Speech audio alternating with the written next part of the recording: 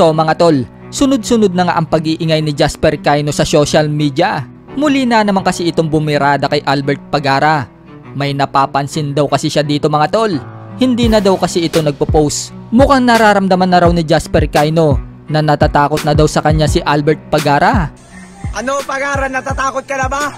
Ha? Di ka na nagpupus eh. Kung natatakot nga daw sa kanya si Pagara mga tol, habang maaga pa daw ay umatras na daw ito. Ha?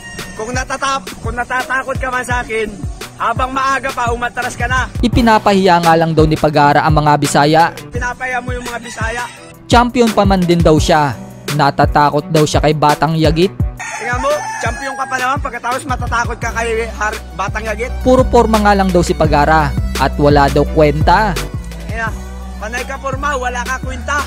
Ang masasabi nga lang daw niya mga tol, kapag natapos daw ang laban nila ni Pagara, isusunod daw niya ang magkapatid na si Boy Ungas at Boy Bagsik para malaos na daw ang mga ito pag siya ang nakalaban. Pag matapos, pag matapos yung laban namin ni Albert Pagara, isusunod kita Boy Ungas, saka Boy Bagsik, para yung mga karir nyo dyan, malalaos kayo pag ako nakalaban nyo. At muli nga nitong sinabihan si Pagara na wag daw matakot sa kanya. Di naman daw siya nangangain. Kung matapang ka man, huwag ka matakot sa akin kasi hindi naman ako nangangain eh. Madami nga daw ang viewers niya na nagchat-chat sa kanya na natatakot na daw si Pagara sa kanya. Kasi maraming mga viewers ko na nagchat sa akin na natatakot ka raw sa akin, hindi ka na daw nagpo-post. Mag-ensayo na nga daw si Pagara dahil dudurugin daw niya ito sa kamao niya. Dagdag pa nga niya mga tol, kung dati daw ay sikat si Pagara, laos na daw ito ngayon. Basta mag-ensayo ka na. Kahit champion ka, dudurugin kita sa kamao ko, Albert Pagara. Tanda mo dati, sikat ka, ngayon lauts ka na, Albert Pagara. Natawa pa nga ito mga tol habang nagsasalita sapagkat tumatalsik na naman ang laway niya. Lauts ka na. Ano, nalaman ka. Ano, habang maaga pa, pwede ka pa mag-chat kay... Tangina, tuwatalsik pala ako. Tuwat... Kaya oh, nakikita nyo, sa lahat ng mga baser dyan, tuwatalsik palaway ko. Bubugbugin nga daw niya si Pagara mga tol kapag nagkaharap na daw sila.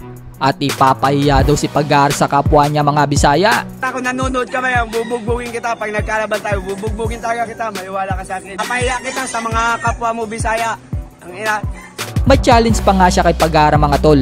Kapag na-knockout daw siya ni Pagara, titigil na daw siya sa pangahype at titigil na rin daw sa pagbablog. Pero kung hindi nga daw siya man-knockout ni Pagara at matapos daw ang round nila, mag-delete daw ng YouTube channel at Facebook page si Albert Pagara. Pati daw ang belt ni Pagara ay ibigay daw sa kanya. pag na-knockout mo ako, pag na-knockout mo ako, di na ako, titigil na ako mag-hype, di na ako magbablog. Pag di mo ako ma-knockout, makatapos ako ng round sa'yo, yung YouTube channel nyo, yung Facebook channel mo, Facebook channel mo, i-delete mo yan. Tapos yung belt mo, ibigay mo sa akin kung totoo yan. Pag di mo ako ma-knockout. Alam na alam nga daw niyang natatakot na daw si Pagara sa kanya at nanginginig na daw ang paa nito sa takot. Alam ko, natatakot ka na sa akin eh. Yung, yung pa mo nagaganito daw, nanginginig na sa takot. Alam mo yun, nanginginig na sa takot. Sa lahat nga daw nang nang iinsulto sa kanya at mga basher niya, magpapakilala daw siya kung sino daw si Batang Yagit. Matibay daw siya at sanay sa bugbog. Nakahanda na nga daw ang panga niya at pati bodega niya para kay Pagara. Sana ito sa bugbog. Matibay ito, nakahanda na to kay Pagaraw. Nakita nyo? Oh, pati ito.